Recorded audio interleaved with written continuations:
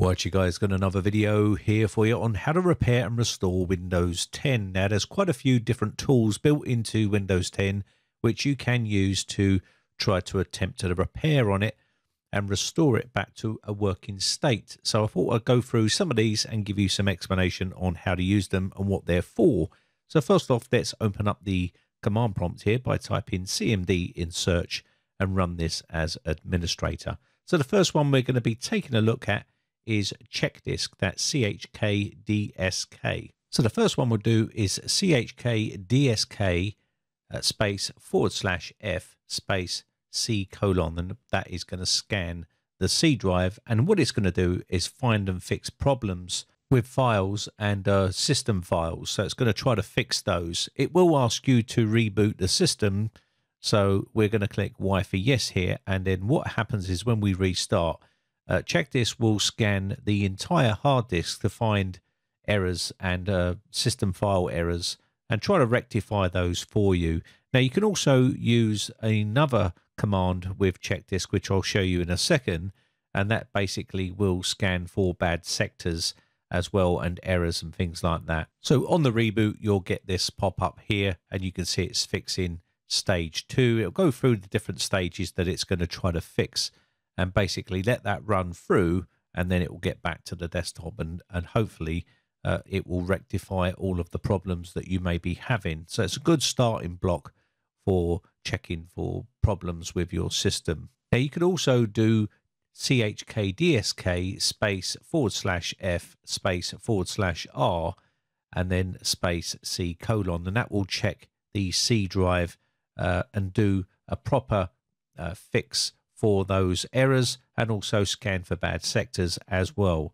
So that's another uh, check you can do. Okay, so let's get this back to the desktop here and then we can run another check and I'll just show you another one we can do. So you can right click on any drive here and go to properties. And also while you're in here, you can go to the tools section. Inside the tools section, you'll see some error checking, which you can run a check from and it will give you a little check here and it normally tells you your drive doesn't need to be scanned if your drive is in good working order but you can just scan a drive if you want to just ignore that. You can use that method. Now you can also do just a check on a drive by just doing chk dsk and just push enter and don't do any sort of repair or any fix on it. And if you push enter here it will give you some information. You can see here uh, the f parameters not been uh, specified. And it will just give you some information about any sort of bad sectors and uh, information about that on the drive as well. Now, if you want to do the uh, bad sector check, you can also do chk dsk space forward slash r space c colon and then click for yes. And that will reboot the system again and that will check uh, for bad sectors, clusters of data that cannot be read. And what it will try and do is it will either try to repair uh, that area, or it will try to tell the system uh, not to use that sector and mark it as unreadable. And basically, that's how that's going to work. So you can run that there. But normally, when you start getting bad sectors on a drive, it's really best to start considering replacing that drive. So let me just let this uh, countdown go, and we'll see what that looks like here. Looks very similar to the uh, Disk uh, F, and you can see it's doing a fix, and it'll go through a bunch of checks here. Okay, so next up, we're going to be talking about the SFC System File Checker. Now, you can do verify only if you wish, and this will work in a similar way as uh, CHK DSK ChkDisk, basically without any sort of switches on the end. It will just verify by just putting verify only. Now, if Windows programs are crashing or you're getting error messages or DLL files are missing or blue screen of death or any sort of issues like that with your system. Now, what System File Checker is going to do is perform a full scan of your system and repair and replace any missing files or damaged files on the system and using versions from your Windows component store. And you can also use your Windows uh, CD as well or USB flash drive with Windows files on it as well. Now, also, you can see here SFC space forward slash scan, as we've uh, mentioned already. This will do that scan, and when it's finished, you will get one of these free messages at the end of it, it will say Windows Resource Protection did not find any integrity violations, or you'll get Windows Resource Protection found corrupt files and successfully repaired them, or you'll get Windows Resource Protection found corrupt files and was unable to fix some of them.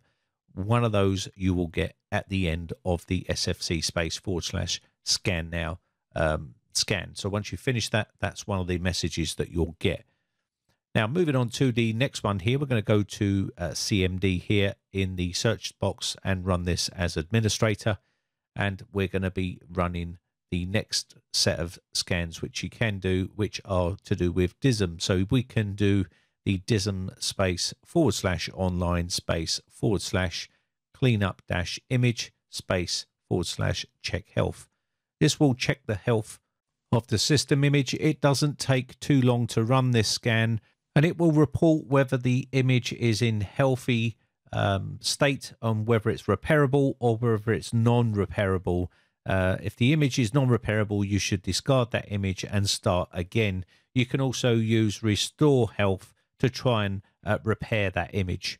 There's also the other command which you can do, which is dism space forward slash online space forward slash cleanup dash image space forward slash scan health and uh, basically this will just run a scan and check for corruption and things like that on the system. So you can run this uh, scan as well. Now there is also a repairable uh, type of scan you can do, which is the restore health one, which I'll show you uh, now. So to repair a Windows image, you will need to run this command, which is the dism uh, space forward slash online space forward slash cleanup dash image space forward slash restore health and you would run this command and basically what it will do is uh, try to repair uh, that image for you. Now also there's a couple of other commands you can run which are to run a repair of the image offline and also online and I'll put those up on the screen right now. But basically you might need to tweak those to suit your needs but basically that's what you would be doing to repair it offline or online and those are the commands there for you. So I'm not going to go through those too much because they do take a fair bit of time, but this is the other command which I'm just showing you here, which you can run to restore health of the image. And once that is completed, you should see the uh, restore operation completed successfully. The operation completed successfully there, and there was no problems. And that is probably the most common uh, commands which you can use to repair and restore Windows 10. Now, if you're having other issues, you can go into the update and security area and recovery, and you will see go back to a previous version of Windows 10. Now, if you've gone past the 10 days, which is allowed, you won't be able to roll back, but there's always a risk when rolling back uh, to a previous version of an update. And I don't like to use that method because I've seen it go wrong far too many times, and that that's why I wouldn't advise you to use the previous version rollback on Windows 10 if it was available. There is other ways of going to reset this PC, which is a much more viable option, which says keep my files or remove everything. If you did keep my files, this will basically allow you to install Windows over the top of Windows. You can see cloud download and reinstall Windows. You can hit that or you can hit local reinstall.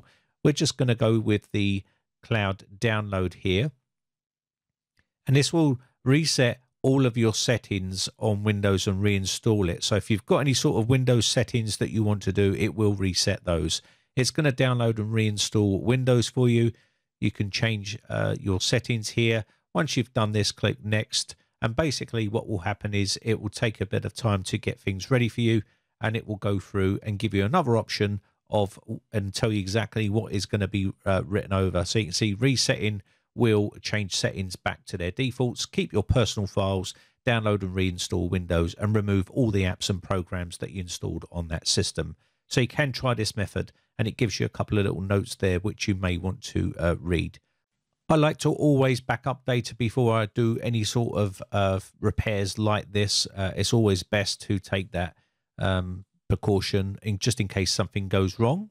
And again, it will tell you the list of apps that will be removed from the system.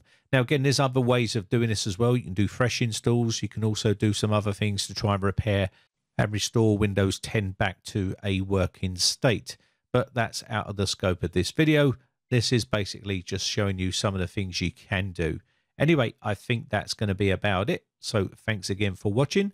Thank you to everyone that has uh, joined my YouTube members group. I really do appreciate it. Those people will be listed up on screen right now. Thanks very much for your support. Anyway, my name has been Brian from briteccomputers.co.uk. Have a great weekend, guys, and I shall see you again for another video real soon. Bye for now.